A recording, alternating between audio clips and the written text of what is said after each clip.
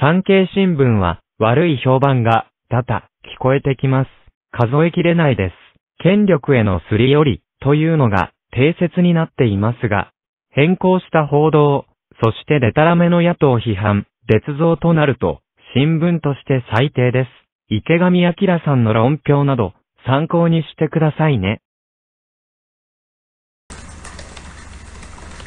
産経新聞の小玉です。まずあの野党あの野党がま一本化してというような発言が先ほどあったんですけれども、今回はあの共産党さんが自主的な応援をあの表明しての選挙戦でもありました。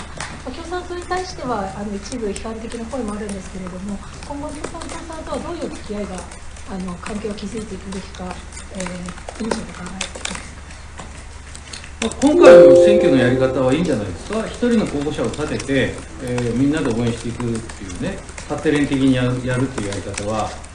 あの徳島、高知の参議院選挙ですよ、皆さん。あそこで10万票って大変なことですよ。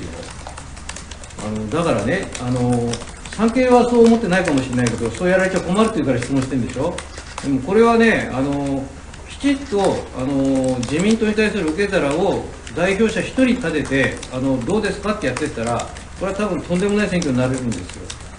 そういうところで、あの少なくとも国民民主党や連合が今回主導になってやってくれた成果というのは、もう見事に出たと思うし、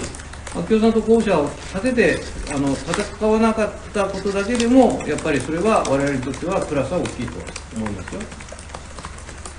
宮城県でも、はい、県議選種目